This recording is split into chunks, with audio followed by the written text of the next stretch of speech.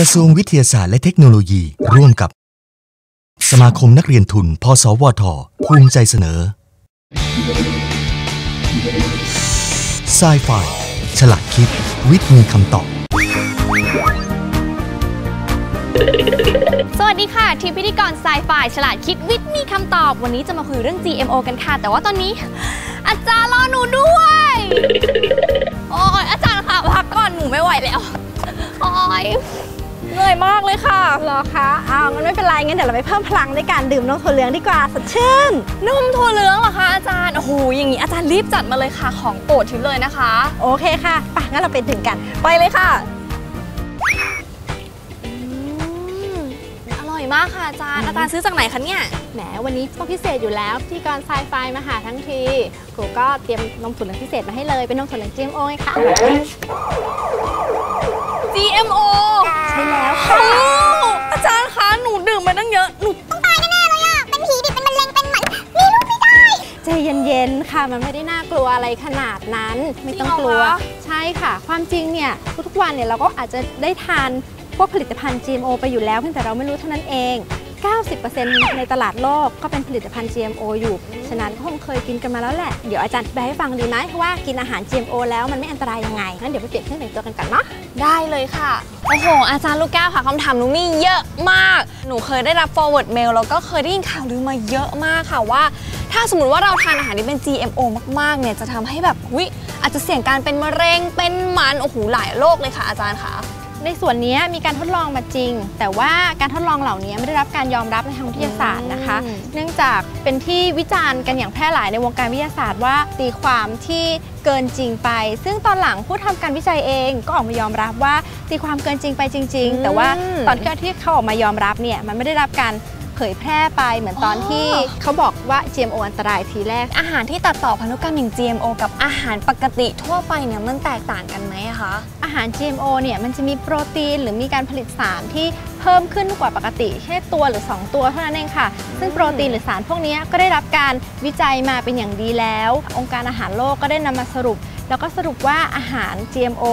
กับอาหารทั่วไปเนี่ยไม่มีความแตกต่างกันในเชิงของความปลอดภัยค่ะหรือว่า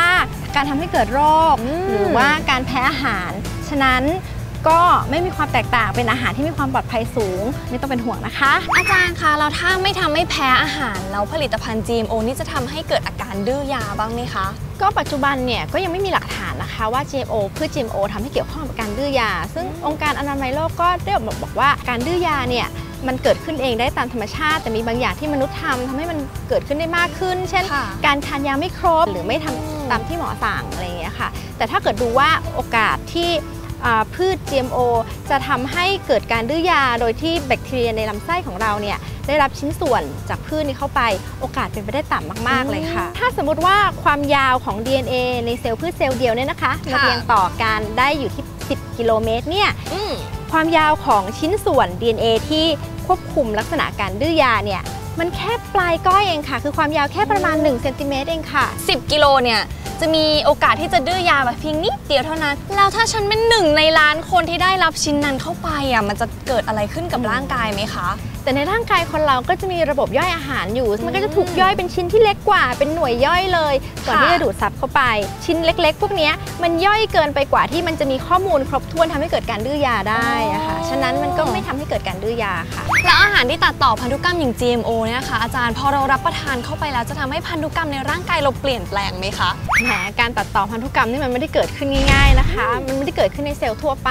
ในห้องแลบเอง เวลาจะทำเนี่ยมันต้องมีปัจจัยที่เหมาะสมอุณหภูมิอืมสารความเข้มข้นต่างๆ ซึ่งพวกเนี้ยทำในแลบยังยากเลย จะให้มาเกิดเองทุกธรรมชาติอะไม่ได้หรอกค่ะ ถึงแม้จะเป็นพืช GMO ก็ตาม มันไม่มีความสามารถในการที่จะไปเหนี่ยวนำให้เกิดการดัดแปลงพันธุกรรมของเราได้หรอกไม่งั้นลองคิดดูสิคะ ถ้าสมมติว่าเรากินพืชเข้าไปทุกวันเงี้ยอืมทำไมเรายังสังเคราะห์แสงไม่ได้อยู่เลยโอ้ยจริงหรือนั่งด้วยนั่งค่ะไปอาจารย์ไม่เห็นมีรากงอกเลยใช่ไหมคะโอ้ยก็สรุปว่าพืช GMO ที่เรากินเข้าไปเนี่ย ก็ไม่สามารถเหนี่ยวนำให้เกิดการดัดแปลงพันธุกรรมของเราผู้บริโภคได้หรอกค่ะ ฉะนั้นก็อยากจะให้ผู้ชมทางบ้านสบายใจได้ค่ะ ชาวไซไฟ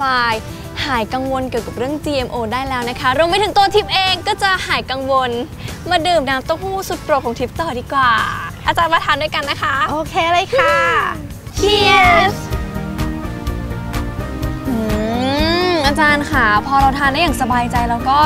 รสชาติมัน happy มากค่ะ ค่ะ หนูชอบมาก หนูชอบทานทุกเช้าเลยค่ะ ดีแล้วค่ะ ดีต่อสุขภาพค่ะ ปลอดภัยด้วยอื